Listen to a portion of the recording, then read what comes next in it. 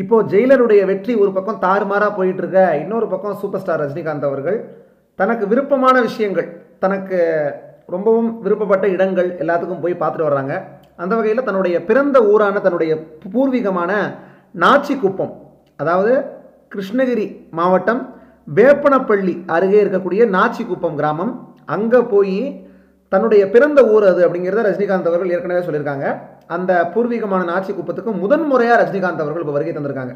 யாரோட போயிருக்காங்கன்னா தன்னுடைய அண்ணன் சத்யநாராயண ராவ் கைக்வாட் அவர்களோட போய் அங்கே இருக்கக்கூடிய தன்னுடைய பெற்றோர் நினைவிடத்தில் பூஜை செய்து வழிபாடு செஞ்சுருக்காங்க ரஜினிகாந்த் அவர்கள்.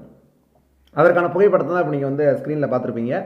ரொம்ப ரொம்ப அற்புதமான ஒரு நிகழ்ச்சியான ஒரு நிகழ்வு இது அப்படின்னு தான் சொல்லணும். ஏன்னா ஒரு நேற்று அல்லது நேற்றைய முன்தினம் இந்த ரெண்டு நாட்களுக்கு முன்னாடி வந்து பார்த்தீங்கன்னா நீங்கள் பார்த்துருப்பீங்க. அதாவது பெங்களூரில் தான் பணியாற்றிய அந்த பணிமனை கண்டக்டராக இருந்த அந்த இடம்.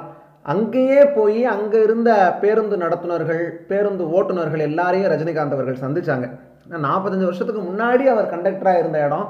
அந்த இடத்த போய் சந்தித்து அங்கே இருந்து எல்லாரோடையும் ஃபோட்டோ எடுத்துக்கிட்டாங்க ரஜினிகாந்த் அவர்கள். தன்னுடைய நண்பர் ராஜ் பகதூர் அவர்களும் அங்கே இருந்தாங்க. அவ்வளோ நெகிழ்ச்சியான ஒரு நிகழ்வாக அந்த நிகழ்வு அமைஞ்சிருந்தது. இப்போ தன்னுடைய பூர்வீகத்துக்கு போய் தன்னுடைய பெற்றோர் நினைவிடத்துக்கு போய் பூஜை செஞ்சு வழிபாடு செஞ்சுருக்காங்க. இந்த பெற்றோர் நினைவிடம் நாச்சிக்குப்பத்தில் இருக்கக்கூடிய அந்த இடம் வந்து பார்த்திங்கன்னா ரொம்ப நாளைக்கு முன்னாடியே அங்கே நினைவிடம் வந்து அமைக்கப்பட்டது. அங்கே முறையான ஒரு பராமரிப்பு வேலைகள் எல்லாத்தையுமே ரஜினிகாந்த் அவர்களுடைய சகோதரராகிய சத்யநாராயண ராவ் கைக்வாட் அவர்கள் தான் தொடர்ச்சியாக செஞ்சுட்டு வர்றாங்க. இப்போ அங்கே போய் ரஜினிகாந்த் அவர்கள் பூஜை செஞ்சுருக்கிறது அதுவும் முதன் முறையாக ரஜினிகாந்த் அவர்கள் இந்த நாச்சிக்குப்பத்துக்கு வந்து போயிருக்காங்கங்கிறத ஊடகங்கள் செய்தியாக வெளியிட்டு வர்றாங்க. ஏன்னா ஜெயிலருடைய வெற்றி எப்போதுமே ரஜினிகாந்த் அவர்கள் சொல்கிற ஒரு விஷயம் ஒரு மிகப்பெரிய வெற்றியை நம்ம வந்து நமக்கு வந்து கிடைக்கிது மிகப்பெரிய வெற்றி அப்படின்னா அதை தலைக்கு ஏற்றிக்கக்கூடாது அதை கேட்டுட்டு ரைட்டு மகிழ்ச்சி. அடுத்து என்ன பண்ண போகிறோம்னு பேரணும் அப்படிங்கிறது தான்.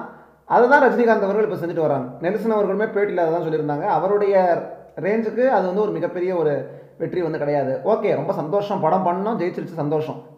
அப்படின்னு சொல்லி அடுத்து என்ன பண்ணலான்னு சொல்லி பார்க்க போயிடுவார் அதான் ரஜினி சார் அப்படின்னு சொல்லி நெல்சன் அவர்களும் வந்து சொல்லியிருந்தாங்க. அதனுடைய பிரதிபலிப்பாக தான் இப்போ நீங்கள் பார்க்கலாம். இமயமலை போனதாக இருக்கட்டும் ரஜினிகாந்த் அவர்கள் ஹிமாலயாஸ்க்கு.